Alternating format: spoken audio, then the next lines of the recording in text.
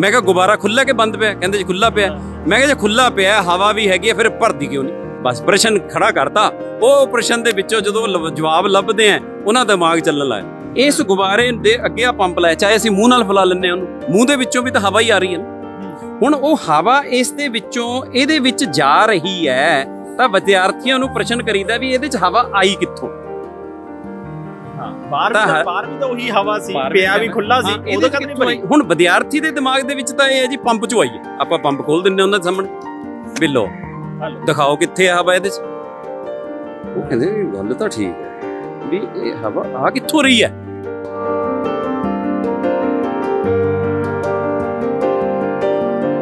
ਹੁਣ ਹਵਾ ਇਸ ਗੁਬਾਰੇ ਦੇ ਵਿੱਚ ਹੈ ਹੋਰ ਤੁਹਾਡੇ ਸਾਹਮਣੇ ਮੈਂ ਭਰਿਆ ਇਸ ਨੂੰ। ਕੋਈ ਜਾਦੂ ਵਾਲੀ ਹਵਾ ਨਹੀਂ ਹੈ ਕੁਝ ਨਹੀਂ ਹੈ। ਹੁਣ ਤੁਸੀਂ ਦੇਖੋਗੇ ਕਿ ਮੈਂ ਇਸ ਨੂੰ ਕੋਸ਼ਿਸ਼ ਕਰੂੰਗਾ ਮੇਰੇ ਹੱਥ ਨਾਲ ਚਿਪਕ ਜੇ। ਕੋਈ ਮੈਂ ਗੂੰਦ ਨਹੀਂ ਲਗਾਈ ਹੈ ਕੁਝ ਨਹੀਂ ਹੈ। ਆ ਤੁਹਾਡੇ ਸਾਹਮਣੇ ਹੈ ਕਿ ਹੱਥ ਨਾਲ ਚਿਪਕਣਾ ਚਾਹੀਦਾ ਦੇਖੋ, ਹੈ ਨਾ? ਥੋੜੀ ਜੀ ਹਵਾ ਚੱਲਦੀ ਆਪਾਂ ਇਹਨੂੰ ਕੰਟਰੋਲ 'ਚ ਰੱਖਾਂਗੇ। ਦੇਖ, ਚਿਪਕ ਨਹੀਂ ਰਿਹਾ। ਜੇ ਇਹ ਚਾਰਜ ਹੋਇਆ ਤਾਂ ਚਿਪਕੂਗਾ।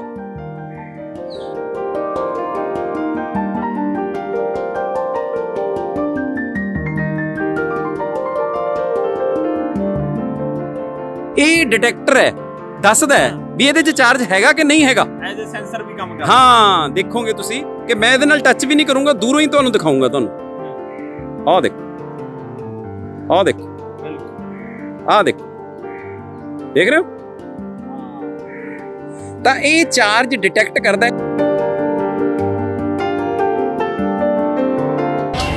ਇਹਦੇ ਉੱਤੇ ਕੋਈ ਭਾਰ ਰੱਖ ਲਓ। ਹੈਨਾ? ਇਹ ਲਿਫਟ ਦਾ ਕੰਮ ਦੱਸੂਗਾ ਹਾਂ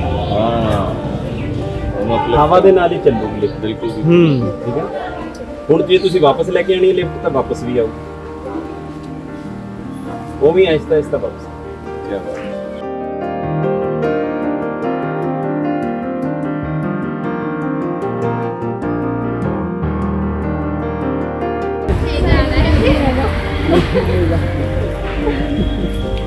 ਇੱਥੇ ਮਿੰਟ 'ਚ ਜਗ੍ਹਾ ਜਾਂਦਾ ਹਾਂ ਇਹਦੇ 'ਚ ਵੀ ਜਗ੍ਹਾ ਜਾਂਦਾ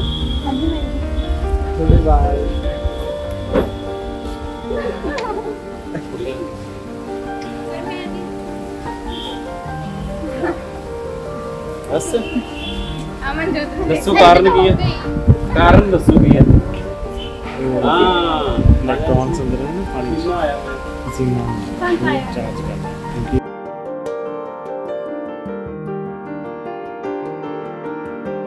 ਸਤਿ ਸ਼੍ਰੀ ਅਕਾਲ ਦੋਸਤੋ ਨਿਰਪੱਖ ਪੋਸਟ ਨਾਲ ਜੁੜੇ ਹੋ ਤੁਸੀਂ। ਮੈਂ ਹਰਵਿੰਦਰ ਖੰਨਾ ਸਵਾਗਤ ਕਰਦਾ। ਮੈਂ ਅਕਸਰ ਦੁਹਰਾਨਾ ਰਹਿਣਾ ਇਸ ਗੱਲ ਨੂੰ ਕਿ ਇੱਕ ਛੋਟੇ ਬੱਚੇ ਦਾ ਦਿਮਾਗ ਆ ਜਿਹੜਾ ਉਹ ਇੱਕ ਖਾਲੀ ਪੰਨਾ ਹੁੰਦਾ ਇੱਕ ਵਾਈਟ ਪੇਪਰ ਹੁੰਦਾ। ਜਿਸ ਦੇ ਉੱਤੇ ਸਭ ਤੋਂ ਪਹਿਲਾਂ ਜੋ ਚੀਜ਼ ਲਿਖੀ ਜਾਊਗੀ, ਉਹ ਉਹੀ ਸਭ ਤੋਂ ਵੱਧ ਕਲੀਅਰ ਤੇ ਸਭ ਤੋਂ ਵੱਧ ਯਾਦ ਰੱਖਦਾ ਹੈ ਜੇ ਤੁਹਾਡੇ ਬੱਚੇ ਦਾ ਜਾਂ ਇੱਕ ਛੋਟੇ ਬੱਚੇ ਦਾ ਜਿਹੜਾ ਬੇਸ ਆ, ਉਹ ਮਜ਼ਬੂਤ ਆ ਨਿਹ- ਜਿਹੜੀਆਂ ਨੇ, ਉਹ ਮਜ਼ਬੂਤ ਨੇ, ਤਾਂ ਉਹਨਾਂ ਆਉਣ ਵਾਲਾ ਜਿਹੜਾ ਭਵਿੱਖ ਆ, ਉਹ ਉਨਾ ਹੀ ਉਜਵਲ ਤੇ ਬ੍ਰਾਈਟ ਹੁੰਦਾ ਆ।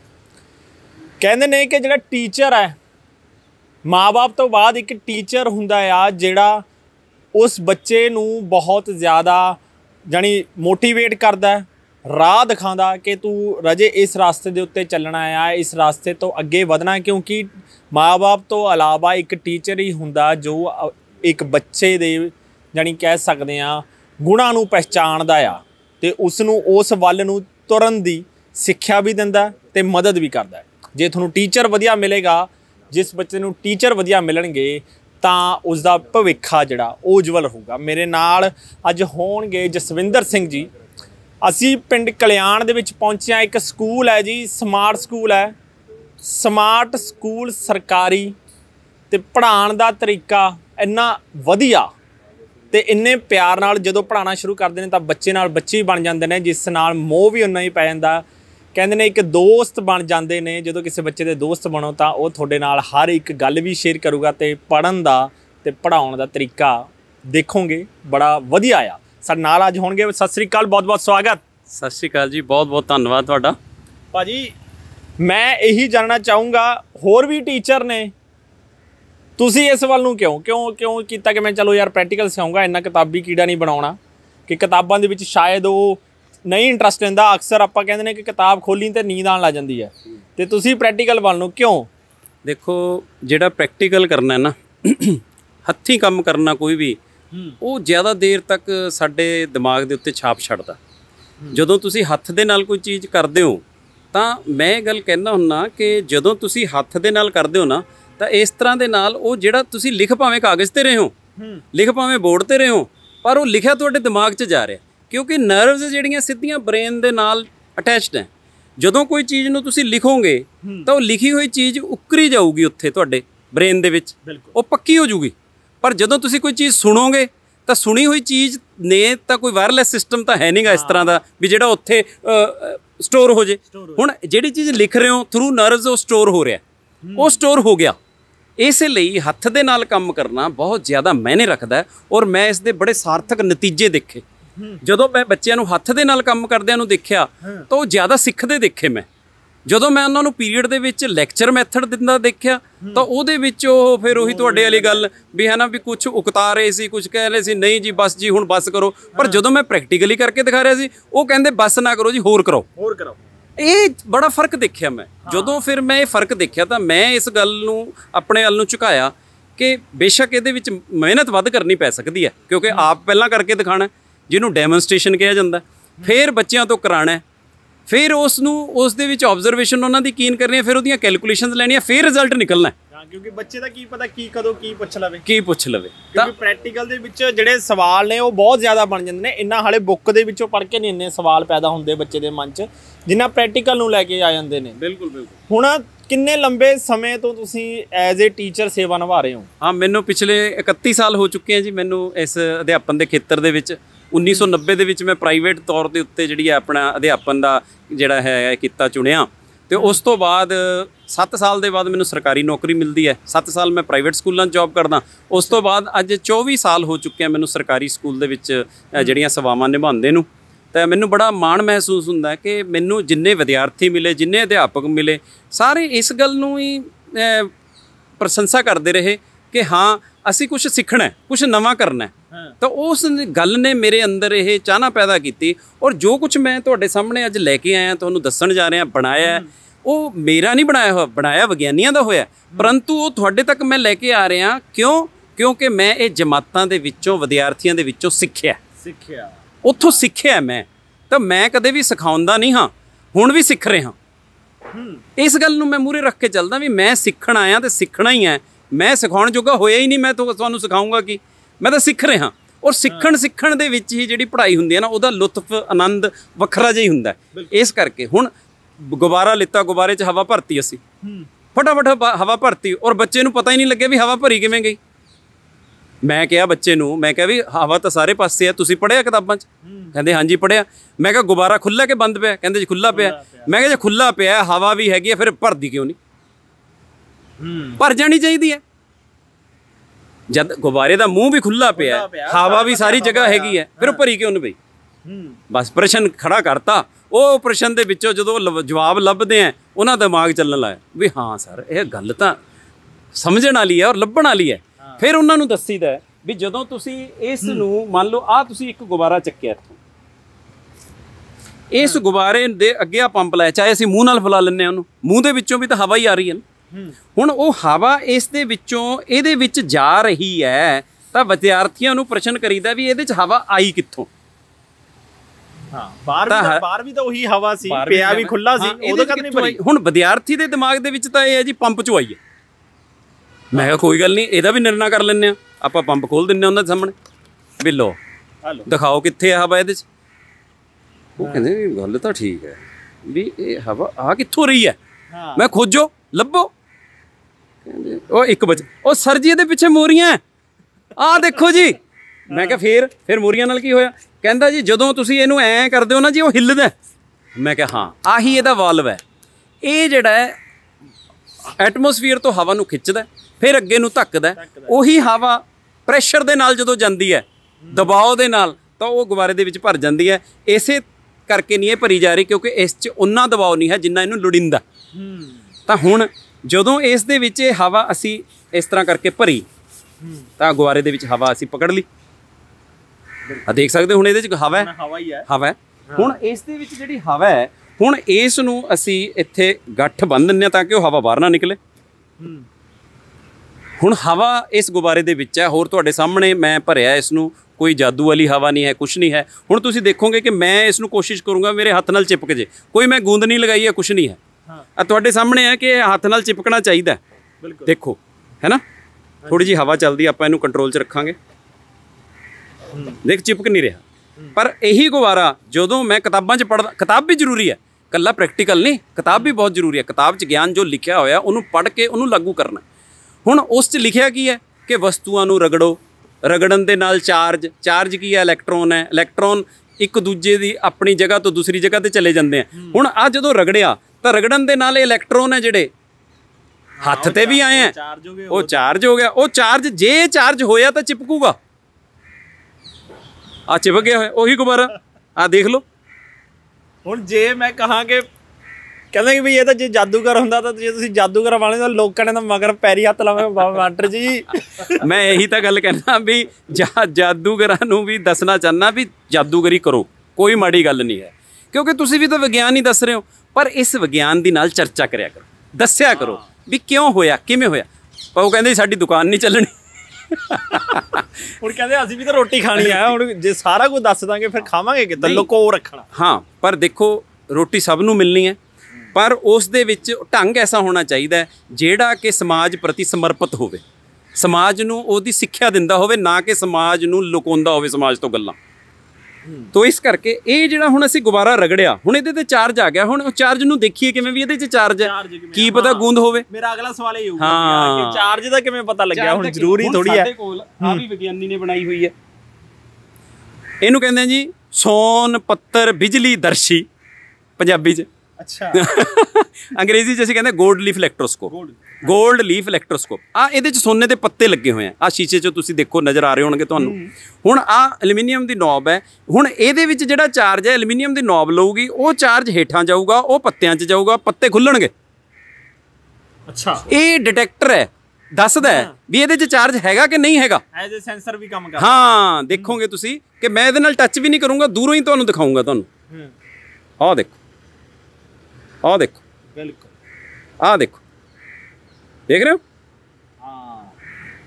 ਤਾਂ ਇਹ ਚਾਰਜ ਡਿਟੈਕਟ ਕਰਦਾ ਹੈ ਇਸ ਲਈ ਇਸ ਨੂੰ ਕਿਹਾ ਗਿਆ 골ਡ ਲੀਫ ਇਲੈਕਟ੍ਰੋਸਕੋਪ। ਹੂੰ। ਇਲੈਕਟ੍ਰੋਨ ਹੈ ਇਲੈਕਟ੍ਰੋਨ ਨੂੰ ਸਕੋਪ ਡਿਟੈਕਟ ਕਰਨ ਨਾਲ ਠੀਕ ਹੈ ਜੀ? ਤਾਂ ਹੁਣ ਇਹ ਜਿਹੜਾ ਡਿਟੈਕਟ ਕਰ ਰਿਹਾ ਸਾਡੇ ਕੋਲ ਤਾਂ ਸਾਨੂੰ ਪਤਾ ਲੱਗ ਰਿਹਾ ਹੁਣ ਅੱਗੇ ਫਿਰ ਪ੍ਰਸ਼ਨ ਖੜਾ ਹੋ ਜਾਂਦਾ। ਕਿ ਜੇ ਇਹ ਚਾਰਜ ਇਹਦੇ ਕੋਲ ਗਿਆ ਉਹ ਖੁੱਲੇ ਕਿਉਂ? ਹੋਰ ਬੰਦ ਨਹੀਂ ਹੋ ਗਏ। ਬੰਦ ਨਹੀਂ ਹੋ ਗਏ ਹਾਂ। ਬਸ ਆਹੀ ਚੀਜ਼ ਹੈ ਜਿਹੜਾ ਵਿਦਿਆਰਥੀ ਇਸ ਤਰ੍ਹਾਂ ਪੜੂਗਾ। ਹੁਣ ਕਿਤਾਬ 'ਚ ਤਾਂ ਇਹ ਲਿਖਿਆ ਵੀ ਰਗੜਨ ਦੇ ਨਾਲ ਚਾਰਜ ਆ ਜਾਂਦਾ ਚਾਰਜ ਦੋ ਤਰ੍ਹਾਂ ਦਾ ਹੁੰਦਾ ਇੱਕ ਧਨ ਚਾਰਜ ਹੈ ਇੱਕ ઋਣ ਚਾਰਜ ਹੈ ਹੁਣ ਅੱਗੇ ਉਹਨੂੰ ਕਿਵੇਂ ਸਮਝਾਵਾਂ? ਕਿਤਾਬ ਤੋਂ ਨਹੀਂ ਸਮਝਾਣੀ ਹੈ। ਉਹ ਫਿਰ ਆ ਪ੍ਰਯੋਗ ਹੈ ਜਿਹੜੇ ਸਹਿਜੀ ਸਮਝਾ ਦਿੰਦੇ ਆ ਕਿ ਇਹ ਜਦੋਂ ਮੈਂ ਇਸ ਨੂੰ ਹੱਥ ਨਾਲ ਰਗੜ ਰਿਹਾ ਸੀ ਤਾਂ ਇਲੈਕਟ੍ਰੋਨ ਇੱਥੇ ਆਏ ਸੀ ਉਹ ਇਲੈਕਟ੍ਰੋਨ ਦੀ ਜਿਹੜੀ ਟਰਾਂਸਫਰ ਹੋਈ ਸੀ ਉਹ ਸਤ੍ਹਾ ਤੇ ਰਹਿੰਦੀ ਹੈ ਔਰ ਇਹ ਜਿਹੜੀ ਸਤ੍ਹਾ ਤੇ ਹੈ ਉਹ ਜਦੋਂ ਇਸ ਦੇ ਵਿੱਚ ਜਾਂਦੀ ਹੈ ਤਾਂ ਪੱਤਿਆਂ 'ਚ ਗਈ ਦੋਨੋਂ ਪੱਤਿਆਂ 'ਚ ਉਹੀ ਚਾਰਜ ਗਿਆ ਜਿਹੜਾ ਇੱਥੇ ਸੀਗਾ ਉਹ ਉਹੀ ਚਾਰਜ ਜਾਣ ਕਰਕੇ ਦੋਨਾਂ ਦੇ ਵਿੱਚ ਇੱਕੋ ਜਿਹਾ ਚਾਰਜ ਆ ਗਿਆ ਉਹਨਾਂ ਨੇ ਇੱਕ ਦੂਜੇ ਨੂੰ ਧੱਕਤਾ ਧੱਕਤਾ ਤੁਸੀਂ ਦੇਖਿਆ ਇੱਥੇ ਖਿੱਚ ਪੈ ਰਹੀ ਸੀ ਹੂੰ ਇੱਥੇ ਇਹ ਖਿੱਚ ਰਿਹਾ ਬਿਲਕੁਲ ਪਰ ਇੱਥੇ ਇਹ ਦੂਰ ਕਰ ਦੂਰ ਕਰ ਰਿਹਾ ਕਿਉਂਕਿ ਉਹ ਧੱਕ ਸੇਮ ਰਿਹਾ ਚਾਰਜ ਹੈ ਹਾਂ ਠੀਕ ਤਾਂ ਇੱਥੋਂ ਪਤਾ ਲੱਗਿਆ ਇਹ ਚਾਰਜ ਦੋ ਤਰ੍ਹਾਂ ਦੇ ਹੁੰਦੇ ਇੱਕ ਧਨ ਚਾਰ ਇੱਕ ऋण ਚਾਰਜ ਧਨ ਤੇ ऋण ਖਿੱਚ ਲੈਂਦੇ ਆ ਧਨ ਤੇ ਧਨ ਹੈ ਜਾਂ ऋण ਤੇ ऋण ਹੈ ਉਹ ਇੱਕ ਦੂਜੇ ਨੂੰ ਦੂਰ ਲੈ ਜਾਂਦੇ ਬਿਲਕੁਲ ਹੁਣ ਜਿਵੇਂ ਕਿ ਜਿੰਨਾ ਪ੍ਰੈਕਟੀਕਲ ਸਭ ਤੋਂ ਵੱਡੀ ਗੱਲ ਹੋ ਜਾਂਦੀ ਹੈ ਕਿ ਬੇਸ ਕਲੀਅਰ ਹੈ ਤਾਂ ਆਣ ਵਾ ਆਣ ਜੇ ਤੁਹਾਡੇ ਕੋਲ ਬੇਸ ਹੀ ਕਲੀਅਰ ਹੈ ਫਿਰ ਤੁਸੀਂ ਉਸ ਨੂੰ ਜਿੰਨਾ ਮਰਜ਼ੀ ਮੋਡੀਫਾਈ ਕਰ ਲਓ। ਅੱਗੇ ਤੋਂ ਅੱਗੇ ਕਿ ਹਾਂ ਭਾਈ ਹੁਣ ਇਦਾਂ ਵੀ ਹੋ ਸਕਦਾ ਉਦਾਂ ਵੀ ਹੋ ਸਕਦਾ ਜਿਵੇਂ ਮਰਜ਼ੀ ਸਮਝਾਈ ਜਾਓ। ਹੁਣ ਬ੍ਰਾਂਚ ਦਾ ਨਾਮ ਹੈ ਇਲੈਕਟ੍ਰੋਸਟੈਟਿਕਸ 11ਵੀਂ ਜਮਾਤ ਚ ਆ ਜਾਂਦਾ ਹੈ ਪਹਿਲਾ ਹੀ ਪਾਰਟ ਇਲੈਕਟ੍ਰੋਸਟੈਟਿਕਸ ਹੂੰ। 12ਵੀਂ ਚ। ਤੇ ਵਿਦਿਆਰਥੀ ਕਹਿੰਦਾ ਜੀ ਇਲੈਕਟ੍ਰੋਸਟੈਟਿਕਸ ਮੈਂ ਸਮਝਣ ਆਇਆ ਇਲੈਕਟ੍ਰੋ ਇਲੈਕਟ੍ਰੋਨ ਤੋਂ ਬਣ ਗਿਆ ਸਟੈਟਿਕ ਤੋਂ ਕੀ ਭਾਵ ਹੈ? ਹਾਂ। ਤਾਂ ਫਿਰ ਉਹਨੂੰ ਦੱਸੀਦਾ ਹੈ ਵੀ ਇਹ ਸਟੈਟਿਕ ਕੀ ਹੈ ਕਿ ਇਹ ਜਿਹੜਾ ਚਾਰਜ ਹੈ ਨਾ ਜਦੋਂ ਅਸੀਂ ਰਗੜਿਆ ਤਾਂ ਗੁਬਾਰੇ ਦੇ ਉੱਤੇ ਰਿਹਾ ਤਾਂ ਇਧਰਲੇ ਪਾਸੇ ਹੀ ਰਿਹਾ ਇਹ ਇੱਥੋਂ ਚੱਲ ਨਹੀਂ ਰਿਹਾ। ਖੜਾ ਇੱਕ ਜਗ੍ਹਾ ਤੇ। ਖੜਾ ਆ ਸਟੇਸ਼ਨਰੀ ਹੈ। ਹੂੰ। ਇਲੈਕਟ੍ਰੋਨਸ ਐਟ ਰੈਸਟ ਹੈਗੇ ਆ ਪਰ ਰੈਸਟ ਤੇ ਆ ਬਸ ਆਹ ਚੀਜ਼ ਉਹਨਾਂ ਨੂੰ ਦੱਸਦੀ ਹੈ ਵੀ ਇਲੈਕਟ੍ਰੋਸਟੈਟਿਕਸ ਹੈ। ਹੁਣ ਇਹੀ ਚਾਰਜ ਜੇ ਅਸੀਂ ਤਾਰਾਂ 'ਚ ਚੱਲਣ ਲਾ ਦਈਏ ਉਹ ਬਿਜਲੀ ਬਣ ਜਾਂਦਾ। ਬਿਲਕੁਲ ਜਾਨੀ ਇਹਨਾਂ ਨੂੰ ਚੱਲਣ ਲਾ ਦਿੱਤਾ ਉਹ ਬਿਜਲੀ ਉਹ ਬਿਜਲੀ ਬਣ ਜਾਂਦਾ।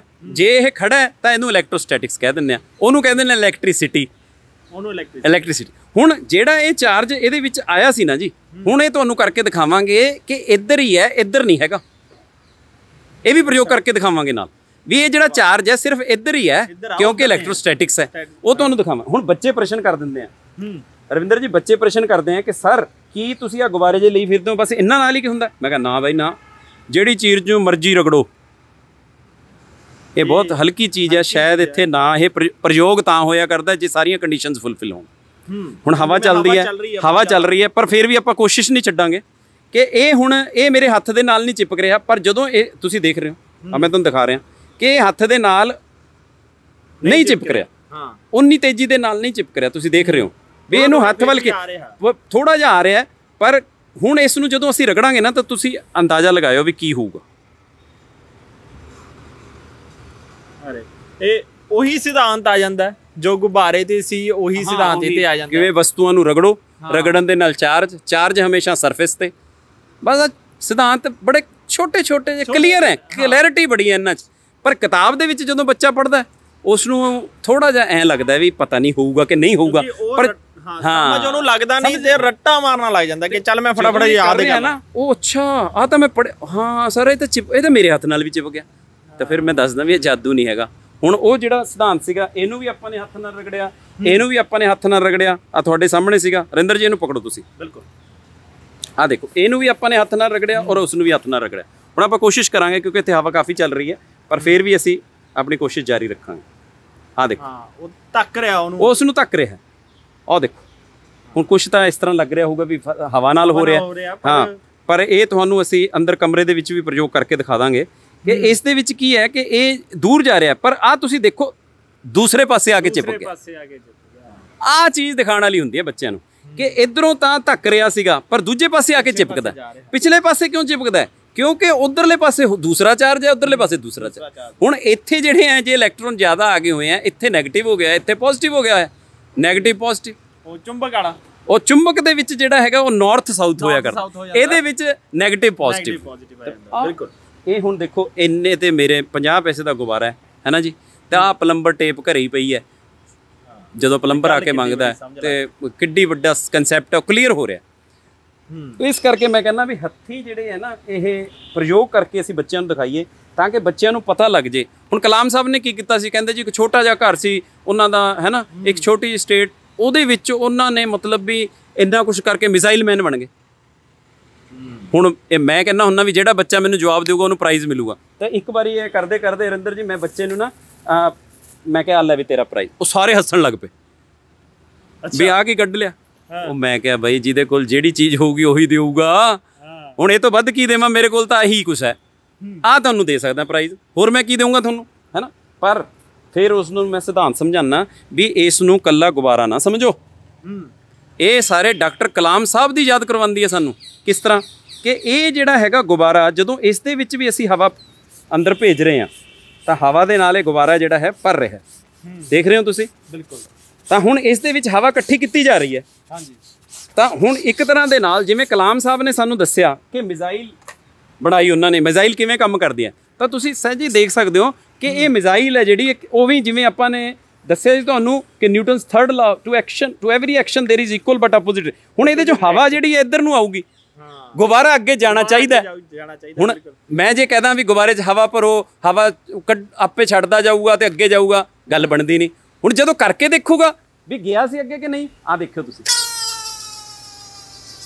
ਉਹ ਇਹ ਤਾਂ ਉਹ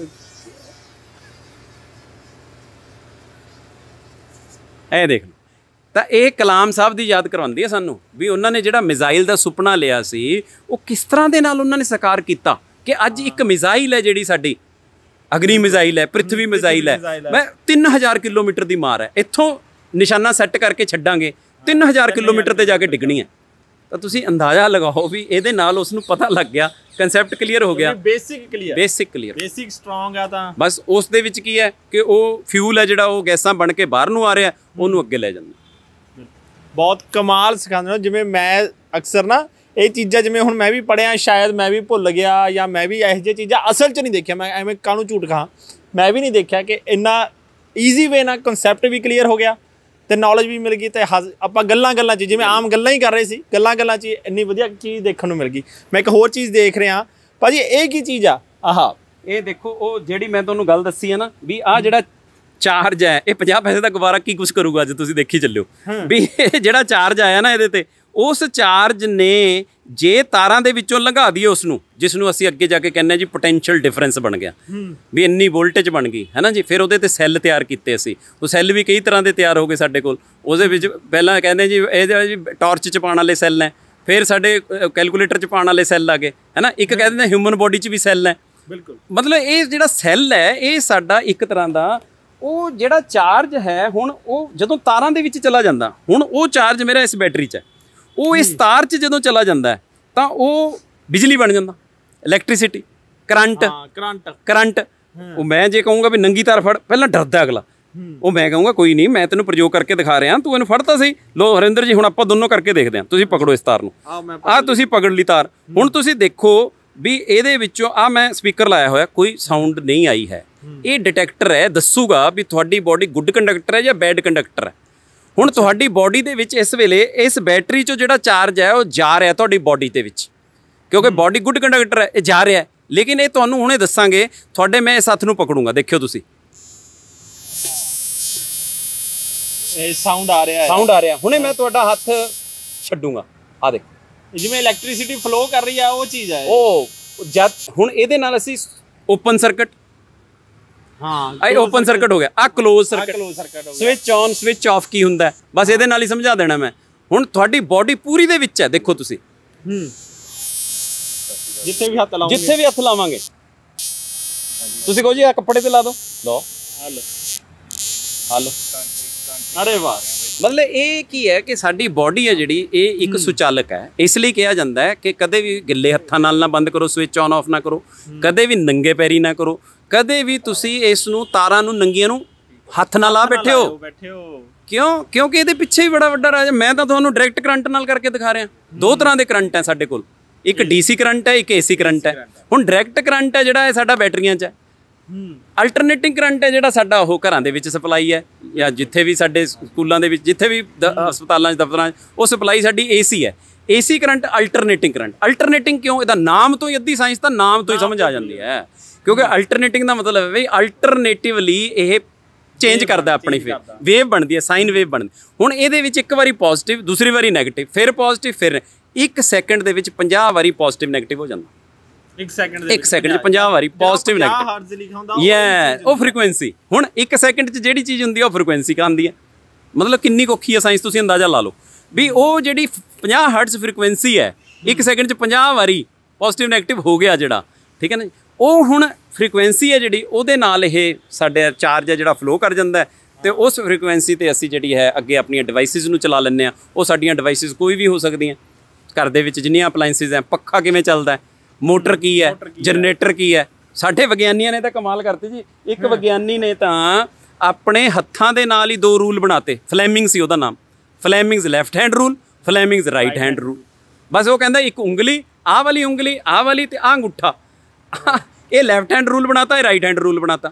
ਹੁਣ ਕਹਿੰਦਾ ਜਿਹੜਾ ਰਾਈਟ ਹੈਂਡ ਰੂਲ ਹੈ ਜਨਰੇਟਰ ਤੇ ਕੰਮ ਕਰਦਾ ਹੈ। ਲੈਫਟ ਹੈਂਡ ਰੂਲ ਮੋਟਰ ਤੇ ਕੰਮ ਕਰਦਾ। ਹੁਣ ਮੋਟਰ ਤੇ ਜਨਰੇਟਰ 'ਚ ਫ਼ਰਕ ਕੀ ਹੈ? ਉਹ ਦੱਸਤਾ ਉਹਨੇ। ਕਹਿੰਦਾ ਮੋਟਰ ਦੇ ਵਿੱਚ ਬਿਜਲੀ ਦਿਓ ਤੇ ਕੰਮ ਲਓ।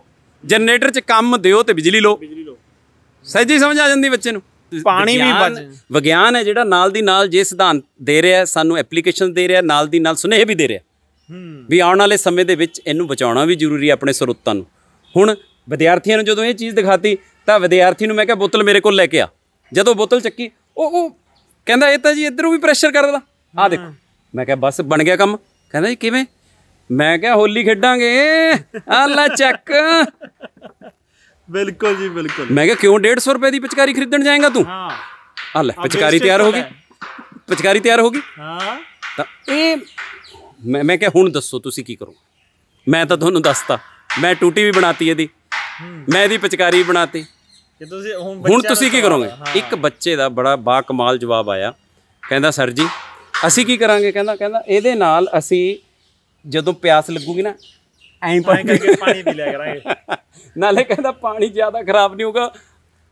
ਡੋਲਾਂਗੇ ਨਹੀਂ ਅਸੀਂ ਪੀਣ ਲੱਗਿਆ। ਮੈਂ ਕਿਹਾ ਵਾਕਈ ਕਮਾਲ ਹੈ। ਤੋ ਇਹ ਹੋਰ ਚੀਜ਼ਾਂ ਇਹ ਜੀਆਂ ਬਹੁਤ ਹੈ ਸਾਡੇ ਕੋਲ ਜਿਨ੍ਹਾਂ ਨੂੰ ਅਸੀਂ ਪ੍ਰਦਰਸ਼ਿਤ ਕਰਕੇ ਵਿਗਿਆਨ ਦੇ ਨਾਲ ਜਿੱਥੇ ਜੋੜਾਂਗੇ ਉੱਥੇ ਸੁਸਾਇਟੀ ਦਾ ਵੀ ਸਾਡੇ ਸਮਾਜ ਦਾ ਵੀ ਫਾਇਦਾ ਹੋਊਗਾ। ਆਉਣ ਵਾਲੀਆਂ ਸਾਡੀਆਂ ਜਨਰੇਸ਼ਨਸ ਹੈ ਜਿਹੜੀਆਂ ਜੇ ਕਹਿੰਦੇ 20 ਸਾਲ ਤੱਕ ਪਾਣੀ ਚੱਲੂਗਾ ਤਾਂ ਉਹ 40 ਸਾਲ ਤੱਕ ਅਸੀਂ ਲਿਜਾ ਸਕਦੇ ਹਾਂ with the help of science ਇਹ ਵਿਗਿਆਨ ਦਾ ਸਾਨੂੰ ਲਾਭ ਹੈ। ਇਸ ਲਈ ਵਿਗਿਆਨ ਤੇ ਵਿਗਿਆਨ ਦੀਆਂ ਬਣੀਆਂ ਹੋਈਆਂ ਜੋ ਵੀ ਸਾਡੇ ਕੋਲ ਡਿਵਾਈਸਿਸ ਹੈਗੀਆਂ ਉਹਨਾਂ ਨੂੰ ਅਸੀਂ ਯੂਜ਼ ਕਰੀਏ। ਪਰ ਯੂਜ਼ ਕਰਨ ਤੋਂ ਪਹਿਲਾਂ ਉਹਨਾਂ ਦਾ ਸਿਧਾਂਤ ਸਮਝੋ। ਕਿਉਂਕਿ ਅੱਜ ਕੱਲ ਕੀ ਹੁੰਦਾ ਛੋਟੇ ਬੱਚੇ ਆ ਜਾਂ ਹੋਰ ਹੈ ਨਾ ਜਿਹੜੇ ਸਾਡੇ ਮਤਲਬ 18 ਸਾਲ ਤੋਂ ਵੱਡੇ ਬੱਚੇ ਹੋ ਗਏ ਉਹ ਬਾਈਕ ਚੱਕ ਲੈਂਦੇ ਆ। ਚੱਕਿਆ ਚਲਾ ਲਿਆ। ਜੇ ਕਿਤੇ ਰੁਕ ਗਿਆ ਪਤਾ ਨਹੀਂ ਹੈ ਜੀ ਖਰਾਬੀ ਕੀ ਪੈ ਗਈ। ਪਹਿਲਾਂ ਉਹਦਾ ਸਪਸ਼ਟ ਤੌਰ ਦੇ ਉੱਤੇ ਉਸ ਨੂੰ ਅੰਦਰ ਗਿਆਨ ਹੋਣਾ ਚਾਹੀਦਾ ਕਾਰਬੋਰੇਟਰ ਕੀ ਹੈ? ਇਹ ਕੰਮ ਕਿਵੇਂ ਕਰਦਾ ਇਹਦੇ 'ਚ ਪੈਟਰੋਲ ਕਿਵੇਂ ਗਿਆ? ਇਹ ਕਿਸ ਤਰ੍ਹਾਂ ਇਹਦੇ ਸਟਾਰਟਿੰਗ ਹੁੰਦੀ ਹੈ? ਕਿਸ ਤਰ੍ਹਾਂ ਇੱਥੇ ਪਲੱਗ ਕੰਮ ਕਰਦਾ ਕਿਵੇਂ ਕਿਵੇਂ ਕੀ? ਉਹ ਸਾਰੀਆਂ ਚੀਜ਼ਾਂ ਜਦੋਂ ਉਹਨੂੰ ਪਤਾ ਲੱਗ ਜਾਣ ਮੇਰੇ ਹਿਸਾਬ ਨਾਲ ਡਰਾਈਵਿੰਗ ਲਾਇਸੈਂਸ ਉਹਨੂੰ ਉਦੋਂ ਮਿਲਣਾ ਚਾਹੀਦਾ। ਹਾਂ। ਵੀ ਤੈਨੂੰ ਇਸ ਮਸ਼ੀਨ ਜਿਹੜੀ ਤੂੰ ਚਲਾਉਣ ਜਾ ਰਿਹਾ ਇਹਦਾ ਤੈਨੂੰ ਗਿਆਨ ਵੀ ਹੈ ਤੂੰ ਕਾਰ ਦੇ ਉੱਤੇ ਬਹਿ ਗਿਆ ਤੈਨੂੰ ਪਤਾ ਹੀ ਨਹੀਂ ਹੈ ਵੀ ਕਾਰ ਦੇ ਵਿੱਚ ਜਿਹੜਾ ਇੰਜਨ ਹੈ ਉਹ ਕੰਮ ਕਿਵੇਂ ਕਰਦਾ ਕਰਦਾ ਹੈ ਕਿ ਕਿਤੇ ਉਲਝ ਗਿਆ ਫਿਰ ਕਿਵੇਂ ਫੇਰ ਕਰੇਗਾ? ਕਿਵੇਂ ਕਰੇਗਾ? ਫੇਰ ਤਾਂ ਅਸੀਂ ਐਂ ਹੀ ਕਰ ਰਹੇ ਉਹ ਇੱਕ ਮਿੰਟ ਦੇਖੀ ਯਾਰ ਇਹਦੇ 'ਚ ਕੀ ਹੋਇਆ। ਚਲਾ ਮੈਂ ਰਿਹਾ ਦੇਖ ਤੂੰ। ਤੋ ਇਸ ਬਹੁਤ- ਕਰਕੇ ਇਹ ਬਹੁਤ ਸਿਧਾਂਤ ਵਧੀਆ ਮਤਲਬ ਲੱਗਿਆ ਸਰ ਤੁਹਾਡੇ ਨਾਲ ਗੱਲਬਾਤ ਕਰਕੇ। ਜਿਸ ਹਿਸਾਬ ਨਾਲ ਤੁਸੀਂ ਜਵਾਕਾਂ ਨੂੰ ਟ੍ਰੇਨਿੰਗ ਦੇ ਰਹੇ ਹੋ ਅਸੀਂ ਇਹੀ ਉਮੀਦ ਰੱਖਾਂਗੇ ਕਿ ਯਾਰ ਉਸ ਟ੍ਰੇਨਿੰਗ ਨਾਲ ਨਾ ਜਿੰਨੇ ਵੀ ਤੁਹਾਡੇ ਸਟੂਡੈਂਟ ਨੇ ਜਿੰਨੇ ਵੀ ਜਾਂ ਹੋਰ ਸਟੂਡੈਂਟ ਦੇਖ ਰਹੇ ਨੇ ਉਹ ਇਹਨਾਂ ਨਾਲ ਗੱਲਬਾਤ ਕਰਨਾ ਚਾਹੁੰਦੇ ਨੇ ਜਾਂ ਹੋਰ ਟੀਚਰ ਦੇਖ ਰਹੇ ਨੇ ਇਹਨਾਂ ਤੋਂ ਇਨਸਪਾਇਰ ਹੋ ਕੇ ਇਸ ਢੰਗ ਨੂੰ ਅਪਣਾਉਣਾ ਚਾਹੁੰਦੇ ਨੇ ਤਾਂ ਜ਼ਰੂਰ ਇਹਨਾਂ ਨਾਲ ਸੰਪਰਕ ਕਰਨ। ਭਾਜੀ ਬਹੁਤ ਵਧੀਆ ਲੱਗਿਆ ਤੁਸੀਂ ਆਪਣਾ ਸਮਾਂ ਦਿੱਤਾ ਤੁਸੀਂ ਮੈਨੂੰ ਵੀ ਇੰਨਾ ਗਿਆਨ ਦਿੱਤਾ ਕਿਉਂਕਿ ਕੁਝ ਜਿਹੀਆਂ ਚੀਜ਼ਾਂ ਵੀ ਸੀ ਵਿੱਚ ਵਿੱਚ ਜਿਹੜੀਆਂ ਮੈਨੂੰ ਬਿਲਕੁਲ ਵੀ ਨਹੀਂ ਪਤਾ ਸੀ। ਬਹੁਤ ਵਧੀਆ ਲੱਗਿਆ ਤੁਹਾਡੇ ਨਾਲ ਗੱਲਬਾਤ ਬਹੁਤ ਬਹੁਤ ਸ਼ੁਕਰੀਆ ਭਾਜੀ ਤੁਸੀਂ ਆਪਣਾ ਸਮਾਂ ਦਿੱਤਾ। ਅਸੀਂ ਵੀ ਇਹੀ ਉਮੀਦ ਰੱਖਾਂਗੇ। ਕਿ ਬਹੁਤ ਬਹੁਤ ਸ਼ੁਕਰੀਆ ਭਾਜੀ। ਯਾਰ ਹੁਣ ਜਿਵੇਂ ਭਾਜੀ ਉਹਨਾਂ ਨੇ ਦੱਸਿਆ ਸਰ ਉਹਨਾਂ ਨੇ ਦੱਸਿਆ ਕਿ ਬਹੁਤ ਵਧੀਆ ਸਿਖਾਉਂਦੇ ਨੇ। ਜੇ ਕਿਤਾਬੀ ਨੌਲੇਜ ਲੈਣੀ ਆ, ਉਹਦੇ ਨਾਲ ਪ੍ਰੈਕਟੀਕਲ ਹੋਣਾ ਵੀ ਬਹੁਤ ਜ਼ਿਆਦਾ ਜ਼ਰੂਰੀ ਆ, ਕਿਉਂਕਿ ਹੱਥੀ ਕੰਮ ਆ ਜਿਹੜਾ, ਉਹ ਬਹੁਤ ਜ਼ਿਆਦਾ ਜ਼ਰੂਰੀ ਹੁੰਦਾ ਆ ਕਿਸੇ ਵੀ ਕਿੱਤੇ ਨੂੰ ਸ਼ੁਰੂ ਕਰਨ ਵਾਸਤੇ। ਮੈਂ ਇਹੀ ਉਮੀਦ ਰੱਖੂੰਗਾ ਕਿ ਇਸ ਵੀਡੀਓ ਰਾਹੀਂ ਅਸੀਂ ਸ਼ਾਇਦ ਤੁਹਾਡੇ ਗਿਆਨ ਦੇ ਵਿੱਚ ਹੋਰ ਵਾਧਾ ਕੀਤਾ ਹੋਊਗਾ, ਜਿੰਨਾ ਤੁਹਾਨੂੰ ਗਿਆਨ ਸੀ, ਉਸ ਤੋਂ ਵੱਧ ਵੱਧ ਕੀਤਾ ਹੋਊਗਾ। ਤੇ ਇਹ ਵੀ ਕਿਉਰਿਓਸਿਟੀ ਤੁਹਾਡੇ ਮਨਾਂ ਦੇ ਵਿੱਚ ਪੈਦਾ ਕੀਤੀ ਹੋਊਗੀ ਕਿ ਅਸੀਂ ਹੋਰ ਨਵੀਆਂ ਚੀਜ਼ਾਂ ਨੂੰ ਜਾਣਨ ਦੀ ਕੋਸ਼ਿਸ਼ ਕਰੀਏ। ਉਮੀਦ ਇਹੀ ਰੱਖਾਂਗੇ ਕਿ ਤੁਸੀਂ ਇਸ ਵੀਡੀਓ ਨੂੰ ਵੱਧ ਤੋਂ ਵੱਧ ਸ਼ੇਅਰ ਕਰੋਗੇ ਤੇ ਪਸੰਦ ਵੀ ਕਰੋਗੇ। ਇਸ ਵੀਡੀਓ ਨੂੰ ਵੱਧ ਤੋਂ ਵੱਧ ਸ਼ੇਅਰ ਕਰੋ ਤਾਂ ਤੱਕ ਲਈ ਮੈਨੂੰ ਜਾਨੀ ਹਰਵਿੰਦਰ ਖੰਨਾ ਨੂੰ ਦੋ ਇਜਾਜ਼ਤ, ਦੇ ਦਿਓ ਨਿਰਪੱਖ ਪੋਸਟ ਧੰਨਵਾਦ। ਪੰਜਾਬ ਅਤੇ ਪੰਜਾਬੀਅਤ ਨਾਲ ਜੁੜਿਆ ਹਰ ਮੁੱਦਾ, ਹਰ ਖਬਰ ਨਿਰਪੱਖ ਤਰੀਕੇ ਨਾਲ ਤੁਹਾਡੇ ਤੱਕ ਪਹੁੰਚਣ ਦੀ ਕੋਸ਼ਿਸ਼ ਵਿੱਚ ਤੁਸੀਂ ਵੀ ਦੇਵੋ ਸਾਡਾ ਸਾਥ। ਤਾਂ ਹੁਣੇ ਲਾਈਕ ਕਰੋ ਸਾਡਾ ਫੇਸਬੁੱਕ ਪੇਜ ਸਬਸਕ੍ਰਾਈਬ ਕਰੋ YouTube ਤੇ ਅਤੇ ਫੋਲੋ ਕਰੋ ਇੰਸਟਾ ਅਤੇ ਟਵਿੱਟਰ ਤੇ ਨਿਰਪੱਖ ਪੋਸਟ ਖਬਰ ਦੀ ਨਿਰਪੱਖ ਆਵਾਜ਼। ਵਿਜ਼ਿਟ ਕਰੋ www.nirpakhpost.com